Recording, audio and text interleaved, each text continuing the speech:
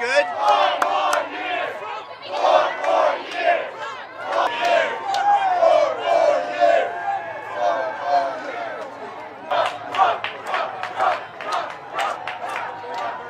me off the campaign trail.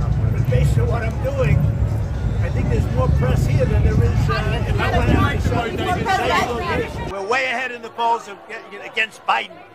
Biden has destroyed our country. Look, Biden is the worst president in the history of our country. Worse than Jimmy Carter by a long shot. Jimmy Carter's happy because he's got he's had a brilliant presidency compared to Biden. I love you, Trump. I love you, Trump. I love you, Trump. We love Trump. We love Trump. We love Trump. We love Trump. We love Trump. We love Trump. We love Trump. It's a rigged trial. Our courts, everything is screwed up in New York, and the whole world is watching. This judge is so conflicted. You understand that. You'll take a look at that. There's never been a judge so conflicted as this. It's ridiculous. And also, there's no crime. You know where the crime is? In the bodegas, where they come and rob them every week, or more than that. More than that, more than that. We're going to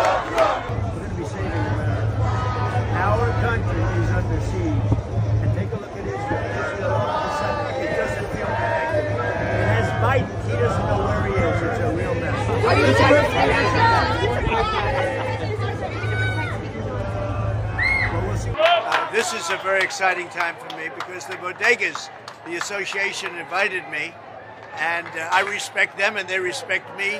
They want law and order. They have a lot of crime, tremendous crime, where their stores are being robbed. And as you know, we're going to give New York a very good shot for the presidency. We think we should be able to do it.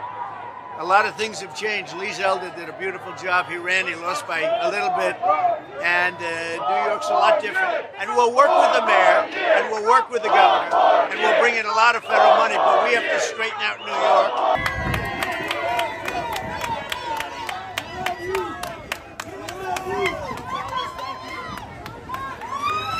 Where else are gonna go? We're going to go all over. We're going to do, well, we'll be all over. Weekends, we're doing rallies all over the place. And we've never had higher numbers than we have right now. Highest numbers we've ever had, as you know, because you report them. Have a good time, Mr. everybody. President, how should Israel respond to Iran?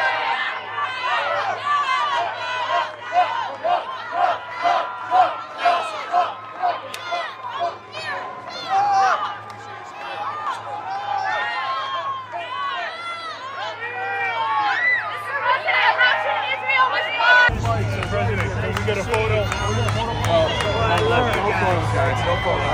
You guys are the. Come on, get over here. We'll get a Get in there. Woo!